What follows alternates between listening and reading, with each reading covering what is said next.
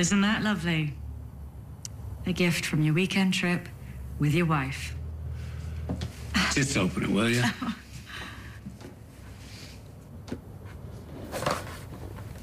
Sea flower. Your favorite. Mm-hmm. It made me think of you. Yeah, what did Carla get? Ten dozen crystal roses? Oh, come on. I didn't come here to fight. Or for anything else, for that matter. I talk. You know, I do business with everybody kings and presidents. When it comes to having someone to talk to, not so many.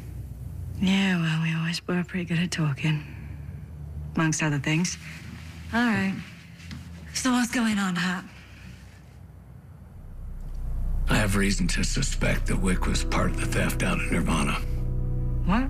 You think Wick was one of the siphoners? And may have been the guy that had the gun stuck in my face and almost got me burned to death. You know, I keep waiting for him to to grow up.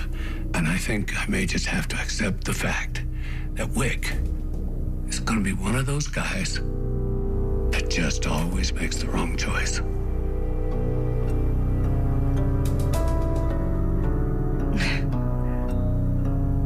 You're serious. I wouldn't joke about something like this. You're actually stooping this low. What?